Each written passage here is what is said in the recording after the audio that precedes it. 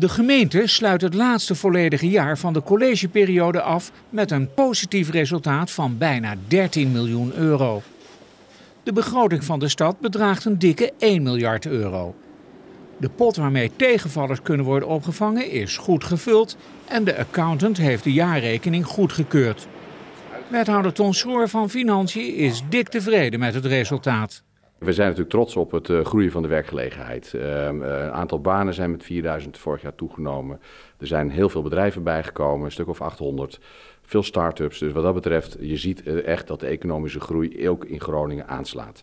Wat we ook gezien hebben is dat we vanaf 2012 al bezig zijn met investeren in onderwijs.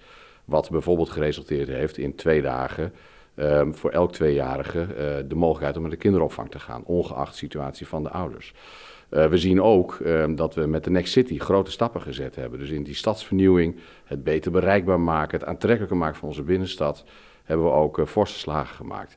Nou, zo zijn, en natuurlijk de zorg. Hè, laten we niet vergeten, 2015 hebben we alles overgekregen. We hebben nu elf teams, elf basisteams in de wei lopen.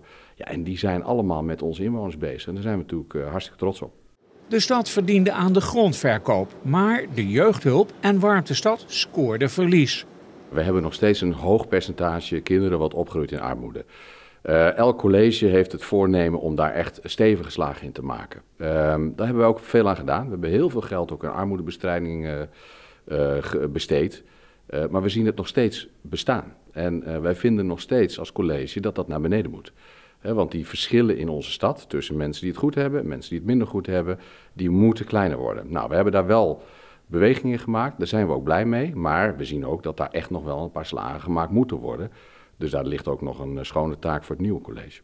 Veel ambities zijn verwezenlijkt, zoals de aantrekkende woningmarkt, het samenwerken met wijkbewoners en de toegenomen werkgelegenheid.